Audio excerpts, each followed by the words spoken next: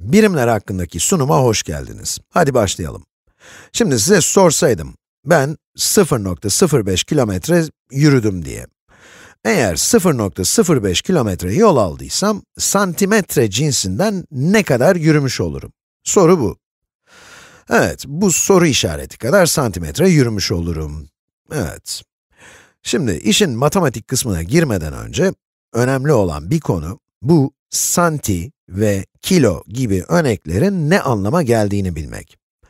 Bunları ezberleyebilirsiniz ya da daha sonra bakmak için mesela bir kağıdın üzerine yazabilirsiniz bu ön eklerin ne anlama geldiğini. Evet, başlayalım. Kilo, bin. Hekto, yüz. Dekada, on demek. Evet. Ve tabii ki hiçbir örnekiniz yoksa bu 1 demek. Örnek yoksa 1'e eşit. Peki, desi 0,1'e eşit ya da 1 bölü 10'a. Santi, santi yüzde 1'e yani 1 bölü 100'e eşit, 0.01'e eşit. Ve mili de 0.001'e yani 1 bölü 1000'e eşit. 1 bölü 1000 ile aynı şey. Şimdi sorumuza geri dönelim. Eğer 0.05 kilometre yürüdüysem, kaç santimetre yürümüşüm demektir. Peki, ne zaman böyle bir problem çıksa, önce bu sayıyı metreye çevirmeyi seviyorum. Çünkü benim için çok kolay oluyor böylece. Ve şimdi bunu km diye kısaltacağım. Ve bunu da cm olarak kısaltabiliriz. Yani santimetre yerine cm diyebiliriz. O zaman 0.05 km diyelim, kilometre. Eğer bunu metreye çevirmek istiyorsam, 0.05 metreden büyük mü olacak, yoksa 0.05 metreden küçük mü? Açıkçası 1 kilometre bayağı büyük bir uzunluk. Bu yüzden metre cinsinde daha, çok daha büyük bir sayı olacak. Yani bunu 1000 metre ile çarpabiliriz. Ve bunu 1 kilometre ile bölüp yapacağım. Ve bunun sonucu ne olur? Evet, 0.05 çarpı 1000, 50'ye eşit olur değil mi? Yani sadece 0.05'i 1000 ile çarptım ve birimleri, şimdi kilometre çarpı metre bölü kilometrem var. Ve kilometreler birbirlerini götürüyorlar. Ve buna alışın diye birimlere, sayılara davrandığınız gibi davranabilirsiniz veya değişkenlere davrandığınız gibi davranabilirsiniz. Payda ve payda da aynı birimleriniz olduğu sürece bunları sadeleştirebilirsiniz. Bunu da, bunu da birimlere eklemek yerine çarptığınızı düşünerek yapabilirsiniz. Yani kilometre çarpı metre bölü kilometreniz var. Ve bu da 50 metreye eşit olur değil mi? Kilometreler birbirlerini götürdüler. Ve her adımdan sonra kontrol etmek her zaman iyi olur, garanti olur. Genelde bu tip soruları yaparken şöyle diyebilirsiniz. Evet, eğer kilometreden metreye geçmek istiyorsam, 1000 sayısını kullanacağım. Çünkü kilometre ve metre arasındaki ilişki bu. Yani peki 1000 ile çarpıyor muydum yoksa bölüyor muydum derseniz, her zaman şunu demelisiniz. Eğer kilometreden metreye geçiyorsam, 1 kilometre 1000 metredir değil mi? Bu yüzden 1000 ile çarpma yapacağım. Daha büyük bir sayı elde edeceğim.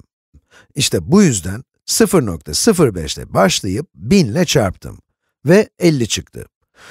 Evet, hadi problemimize geri dönelim. 0.05 kilometre 50 metreye eşit. Ama daha bitmedi. Şimdi bu 50 metreyi santimetreye çevirmemiz lazım. Ve aynı şeyi yapacağız. 50 metre çarpı kaç tane peki metre ve santimetre arasındaki ilişki neydi? Evet ve tabloya bakalım ve 100 olduğunu gördük. Ve size soracağım soru da, peki ben 100 ile çarpacak mıyım yoksa 100'e bölecek miyim? E bu da aynı şey. Daha büyük bir birimden küçüğüne gidiyoruz. Bu yüzden büyük birimlerden bir tanesi birçok küçük birime eşittir. Bu yüzden çarpma yapacağız. Yani her metre için 100 santimetremiz olduğunu söylüyoruz, değil mi? Bu mantıklı. Yani metre başına 100 santimetre var. Yani 50 metre çarpı metre başına 100 santimetre eşittir 50 çarpı 100. Bu da 5000 eder. Sonra da metreler sadeleşiyor ve santimetre kalıyor. Yani bizim burada elde ettiğimiz sonuç 0.05 kilometre 5000 santimetreye eşittir. Şahane. Hadi başka bir soru yapalım. Bence ne kadar çok örnek yaparsak, örnek görürseniz o kadar iyi öğrenirsiniz. Evet, her zaman görselleştirmeyi deneyin yaptığınızı ve bu kullandığımız tabloyu. Aksi takdirde çarpmanız veya bölmeniz mi gerektiği konusunda kafanız karışabilir. Diyelim ki, bir sonraki sorumuz, diyelim ki 422 desigramım var. Evet, gram bu arada bir kütle ölçüsüdür. Gram aslında küçük bir miktar, bayağı küçük bir miktar, 1 gram. Ve ben bunu miligrama çevirmek istiyorum. Evet, şimdi ne dedik, neredeydik? Diyelim ki 422 desigramım var ve bunu miligrama çevirmek istiyorum. Başlamadan önce, hadi bir kontrol edelim. Böyle e, büyük bir birimden küçük bir birime mi gidiyorum, yoksa küçük bir birimden büyük bir birime mi gidiyorum? Desigram, gramın onda biri. Ben de gramın binde birine gidiyorum. Evet, bunu yapmanın iki yolu var.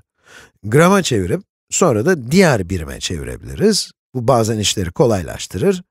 Ya da şöyle diyebiliriz. Kaç miligram bir desigrama eşittir?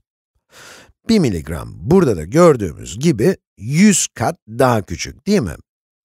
1 bölü 10'dan 1 bölü 1000'e gitmek için boyut olarak 100 kat azaltmalıyız. Böylece diyebiliriz ki, 422 desigram çarpı her desigram başına 100 miligram ve sonra da desigramlar sadeleşir ve 422 çarpı 100 42.200 miligram eder. Şimdi bunu yapmanın başka bir yolu da bir önceki problemi yaptığımız gibi yapmak. 422 desigramla başlarız ve bunu grama çevirebiliriz. Biz 422, evet diyeceğim desigram, aslında bu çok yaygın bir birim değildir desigram. Peki, gram başına kaç desigram var? Peki, eğer grama gidiyorsak, 422 daha küçük sayıda gram olacak değil mi? Bu yüzden şöyle diyebiliriz. 1 desigram kaç grama eşit? Evet, 1 gram, düzeltiyorum, 1 gram kaç desigrama eşit? 1 gram 10 desigrama eşittir. Bunun mantıklı olmasının sebebi de eğer pay bölümünde 1 desigramınız varsa, paydada da desigramımızın olmasını isteriz, değil mi?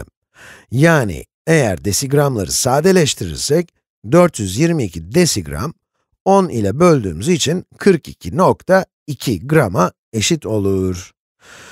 Ve şimdi de gramdan miligrama gidebiliriz. Aslında bu kolay oldu. 1 gram, 1000 miligrama eşit. Bu yüzden gram başına 1000 miligram diyebiliriz. Gramlar sadeleşir ve biz de 42.200 miligramla kalırız, değil mi? 42.2 çarpı 1000. Evet, umarım kafanız karışmamıştır. Önemli olan şey, her zaman bir adım geri atmak ve gerçekten görselleştirmek ve düşünmek. Başladığımdan daha büyük bir sayımı elde edeceğim, yoksa daha küçük bir sayımı elde edeceğim. Bunu düşünün önce. Bence şimdi bazı soruları kendi başınıza çözmeye de hazırsınız. Evet, iyi eğlenceler.